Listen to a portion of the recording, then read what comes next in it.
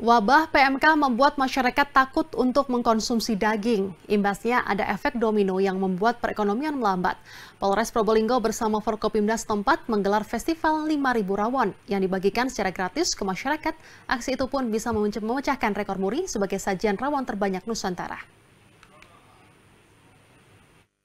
Bapak yang saya hormati Bapak Beni yang wakili Gubernur Digelar di alun-alun Kota Keraksaan, Kabupaten Probolinggo, Festival Rawon digelar bertujuan untuk membangkitkan kembali gairah perekonomian yang sempat lesu karena terdampak wabah PMK pada ternak sapi.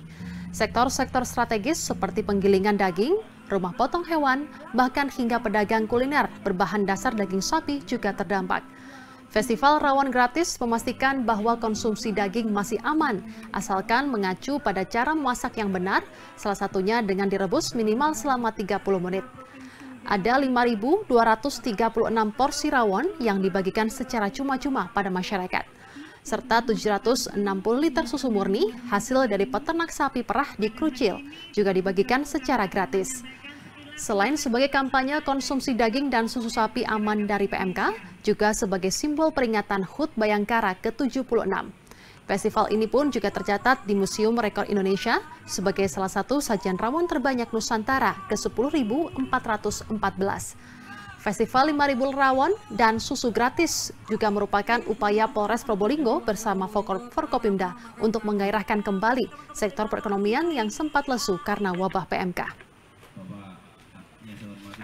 yang wakili karena memang tersebar uh, apa namanya info juga kalau memang daging itu sekarang kayaknya hewan ternak itu bermasalah. Jadi memang ya seperti kata bapak tadi di sana apa ya orang hajatan aja sampai nggak berani pakai daging sapi ya. Sempat takut juga ya? Takut juga.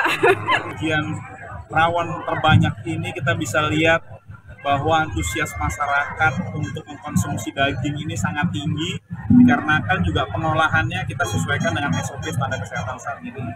Harapannya adalah dengan adanya festival ini kita bisa memberikan uh, dukungan moral kepada para peternak bahwa mereka tidak sendiri. Kami dari Forkopimda Kabupaten Probolinggo juga ada dan memikirkan upaya-upaya untuk